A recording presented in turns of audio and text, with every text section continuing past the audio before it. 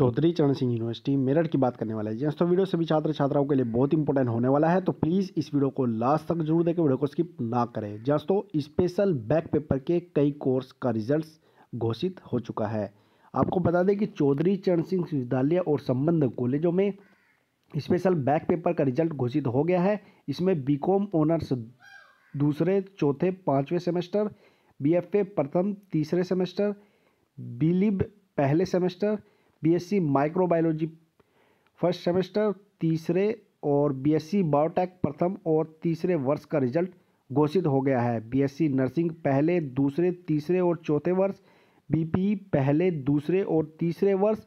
BPEd पहले और दूसरे सेमेस्टर बीपीएस पहले, दूसरे, तीसरे, चौथे, पाँचवें और छठे सेमेस्टर बीपीटी पहले, दूसरे, तीसरे और चौथे वर्ष। बीएससी केमिस्ट्री ऑनर्स तीसरे और पाँचवें सेमेस्टर एम तीसरे और चौथे semester B M L T first M O T second, वर्ष एम पी एड पहले, दूसरे, तीसरे और चौथे सेमेस्टर एम पी टी पहले और दूसरे वर्ष एम फिल एजुकेशन पहले और दूसरे सेमेस्टर और बी पी एड प्रथम वर्ष स्पेशल बैक पेपर परीक्षा का परिणाम घोषित हो गया है। छात्र, छात्राएँ वेबसाइट पर अपना रिज़ल्ट देख सकते हैं।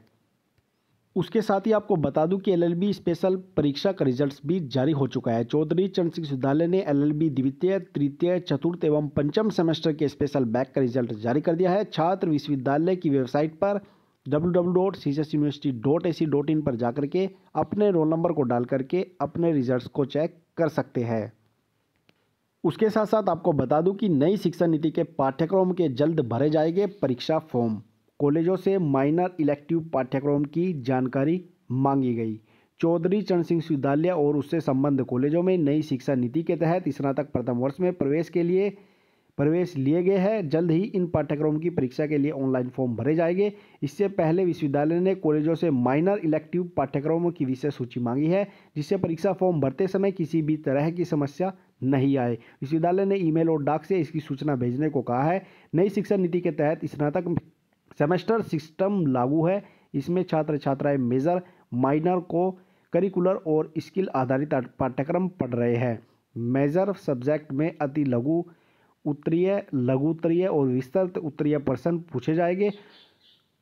को करिकुलर पाठ्यक्रमों की परीक्षा बहुविकल्पीय आधारित प्रश्नों की प्रश्नों की होगी। माइनर और स्किल आधारित पाठ्यक्रमों की परीक्षा का पैटर्न अभी तक तय नहीं है। तो उसके साथ साथ आपको बता दूँ कि विषम सेमेस्टर के जो परीक्षा फॉर्म है, वो भरे जा रहे हैं। जिन छात्रों ने अभी विषम सेमेस्टर के परीक्षा फॉर्म नहीं भरे हैं, वो जल्दी से C G S U web dot in पर जाकर के अपने विषम सेमेस्टर के जो एग्ज़ामिनेशन फॉर्म है, उसको जल्द ही भर ले और अपने कॉलेज में जमा करा दे। यहाँ पर L L B three year first semester और L B three year third semester L L B three year fifth semester और एलएलएम फ़र्स्ट सेमेस्टर के भी एग्जामिनेशन फॉर्म भरे जा रहे हैं।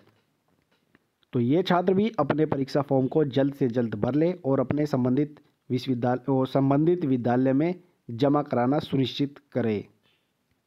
उसके साथ साथ आपको बता दूँ कि नवंबर, दिसंबर में परीक्षा नहीं दे सके छात्रों को एक और मौका। जहाँ तो आपको बता दूँ कि दिल्ली यूनिवर्सिटी तीसरे, पाँचवें और सातवें सेमेस्टर के छात्रों के लिए दोबारा आयोजित कराने वाली है। परीक्षा। या तो कोरोना महामारी व अन्य कारणों से दिल्ली विश्वविद्यालय में बीते नवंबर दिसंबर की परीक्षा में नहीं बैठ सके। विद्यार्थियों के लिए राहत की बड़ी खबर है। डीयू परीक्षा शाखा ने तीसरे, पाँचवें व सातवें सेमेस्टर की परीक्षा नहीं दे सके छात्रों के लिए ओपन बुक एग्ज़ाम ओ आयोजित करने का फैसला लिया है। यह परीक्षा नियमित कॉलेजों, एसओएल के यू जी के छात्रों के लिए होगी।